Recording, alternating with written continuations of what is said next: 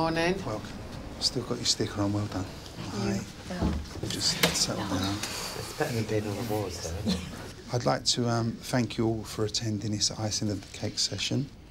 Okay, let's start by saying, what kind of care do you think you are giving the patient at this point in time?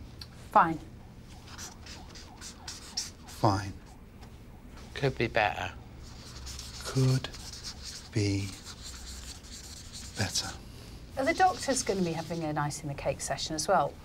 Mm. Because Don't worry, the doctors will be having their own icing of the cake session very shortly. That could take all week, couldn't it? The amount of stuff they've got to improve on. Mm-hmm. aggressive and over assertive.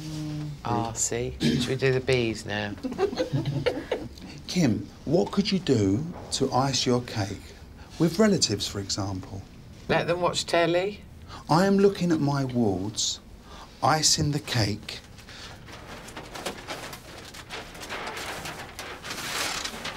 Ice in the cake to provide amazing service. Look at me when I say this, because this is very important.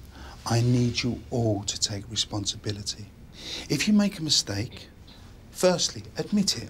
Once you've admitted it, then apologise, then move on. Hmm.